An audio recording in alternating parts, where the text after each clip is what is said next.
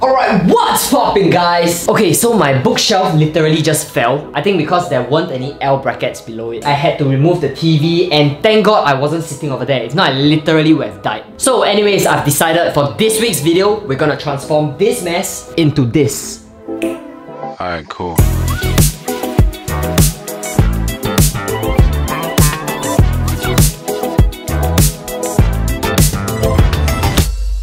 Up guys, my name is Daniel Tamago and I'm a year 3 finance student from the National University of Singapore. Aside from school, I'm also a full-time video producer and my work and my study requires me to sit at my desk for hours and hours every single day to get shit done. With universities now focusing more on e-learning and working from home has become the new norm, Zoom University is unfortunately here to stay for the foreseeable future and having a clean and highly functional desk setup is crucial for motivation and productivity at home. So this is gonna be the overall structure for this video. I will first start with how I plan and build this new workspace, as well as share with you guys more about my current setup, which is my main workhorse for studying and editing. In the second half of this video, I will be reviewing all of my new purchases for this desk setup upgrade, as well as share with you guys how each new addition has value added to my overall productivity as a student. So the first thing with every room makeover is tidying up the place. Now I was already quite a minimalist to begin with,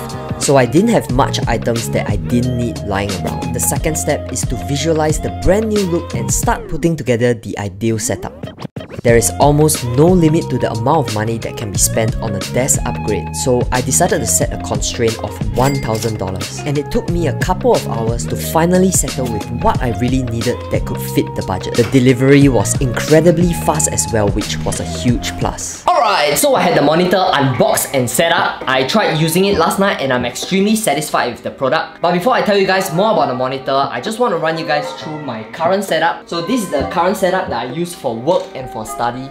Okay, so this guy right here is the 2017 15-inch MacBook Pro.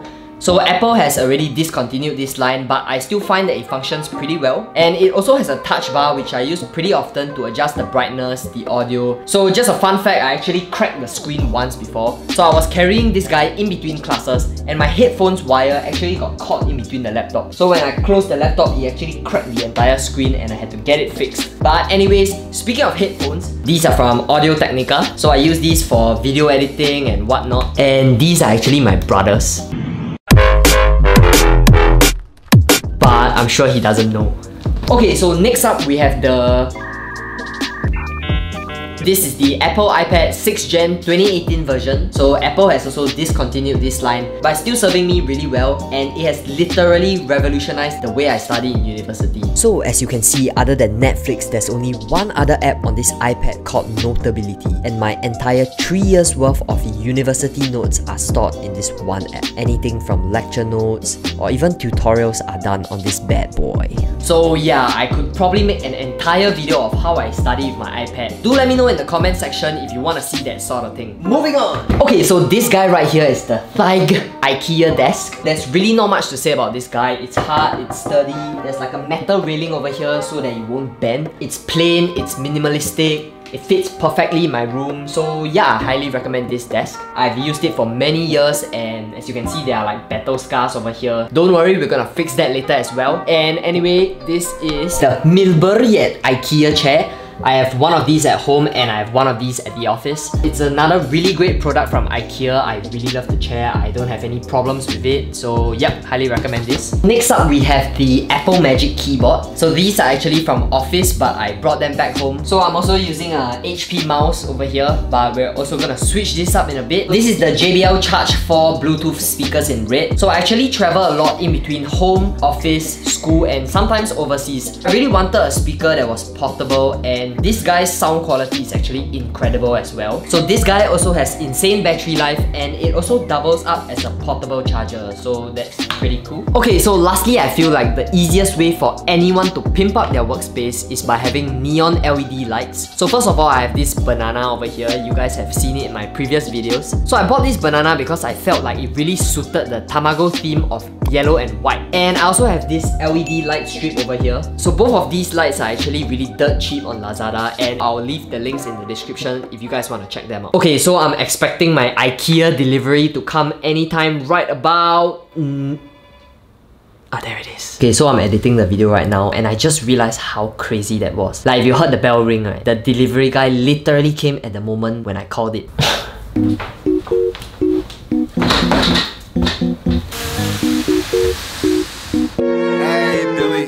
Okay guys, so here's the plan. Tonight I'm gonna unbox all of these and whatever needs fixing or drilling, I'll do that tomorrow afternoon. And after that, I think let's just head straight to the end of this video where I show you guys the final product of this, you know, what's this called? The ultimate productivity desk setup for students and content creators. Sign up for my online course right now.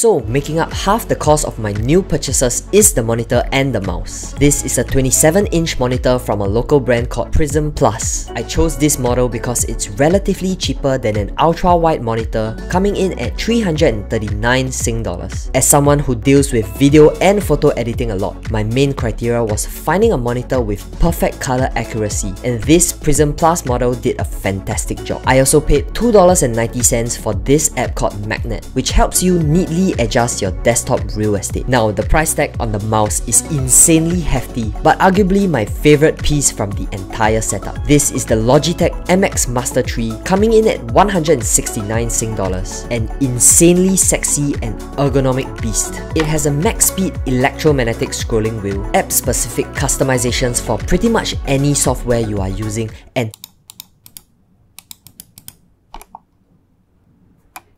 The customizable keys and horizontal scrolling has significantly improved my workflow in Premiere Pro. But if you don't really do video editing or need customizable keys, then I would suggest going for a cheaper option for a mouse. The mouse is sitting nicely on a gaming mousepad from SteelSeries. The laptop is sitting on a B-stand aluminium MacBook stand in space grey, and the monitor is sitting on a sleek matte black monitor stand from Deepcool. I also bought this cool headphone and tablet stand from IKEA, and of course I had to throw in another neon LED sign for the aesthetics. For lighting, I decided to go with the Ranarp work lamp from IKEA, as well as the Tärnaby table lamp to give the corner of my room some retro lighting. With so many cables now on my upgraded desk setup, it was crucial to find a way to conceal everything. So I installed the Signum cable trunk from IKEA under my desk and also placed all of my charging stations into the Roma cable management box. Next, I had all of the cables stuffed into the Robalder cable tidy so every single wire under my desk is hidden neatly inside this intestine looking thing. I also bought two of these cable organizers from Shopee to help tidy all of my USB cables. Moving on to the shelves, this is the Billy bookshelf from IKEA. I finally have a safe spot to store all of my books, a place to keep my camera equipment, and also a storage place for my bags. Behind my desk is the Lerberg shelf from IKEA, where I have my charging station and also a place to display my shoes. And perhaps the ultimate game changer to the room is this pegboard wall shelf from IKEA, which is the perfect place to keep my stationaries, calculators, notebooks,